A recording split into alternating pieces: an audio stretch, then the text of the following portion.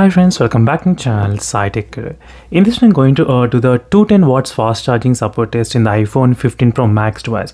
So this iPhone 15 Pro Max. So right now I do have the 210 watts charger from the Redmi device.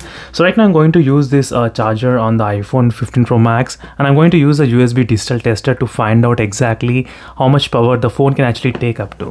The iPhone 15 Pro Max which has got the USB Type-C port. So let me to quickly connect the USB digital tester and now let's connect a 210 watts fast charger and we'll try to see what is the maximum input the power can get in with the iPhone 15 Pro Max. So it's a 210 watts charger and right now I'm going to use on the iPhone 15 Pro Max device and let's check the USB digital tester how much the power the phone can take up to. And right now I'm trying to connect a 210 watts charger to the iPhone 15 Pro Max. Uh, let me show you quickly the how much the power the phone is taking right now in the wattage.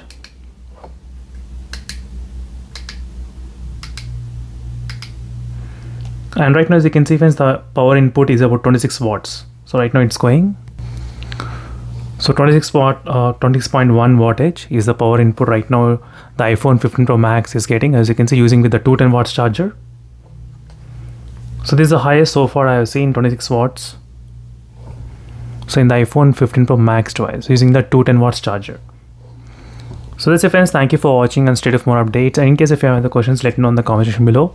So this is a quick demonstration to show you uh, what will happen if you try to connect the 210 watts charger, how much the power can go up to in iPhone 15 Pro Max. Until then, stay tuned for more updates. Signing off and bye.